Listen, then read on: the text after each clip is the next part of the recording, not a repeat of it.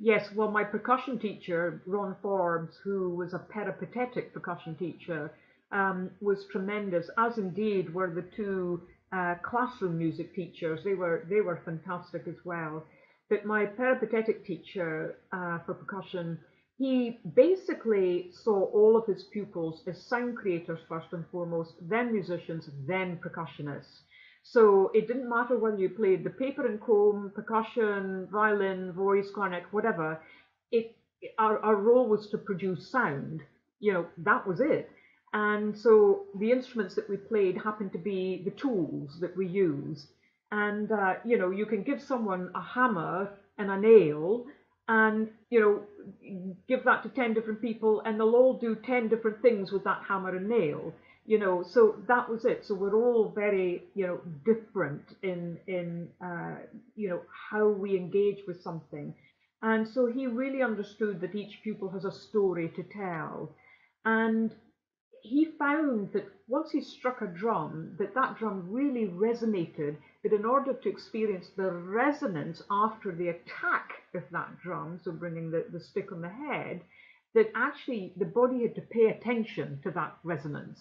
And normally, you know, you get the attack and then you're waiting for the next attack to happen, you know, the next strike on the drum or whatever instrument it is and we're not always digesting that resonance, but it's that resonance that kind of is the, the real essence of the sound. And just as the preparation is, you know, the visual aspect of seeing a, a percussion player or a violinist or a cellist or a trumpet player coming up with their instrument, and then you know, it's all this pre stuff that the eye will see, but the eye stops seeing and the ear stops hearing after the attack, you know. So, and then you interpret that as, well, I don't now hear anything. Well, actually, there's still a magical sound going on, so the body has to slow down. And he realized this, which is why he asked me to put my hands on the wall of the music room. And after he struck that drum, he said, Right, where are you feeling that sound? And so I'd say, Well, wherever I was feeling it, you know, my fingertips, my hand, the palm, wherever I was feeling it, the, my legs, my chest, my neck, my tummy, whatever. And bit by bit, he would change the pitch of those drums, and lo and behold, the subtle difference in physically what you felt was, was quite extraordinary. But this was a complete and utter revelation for me because up to that point, I was just trying to feed all the sound through the ears, and the aids, the hearing aids, were boosting the sound but not giving me the clarity. So an awful lot of things were really painful to, to, to hear. I was always hearing too much sound, and that really affected the sense of touch and my balance.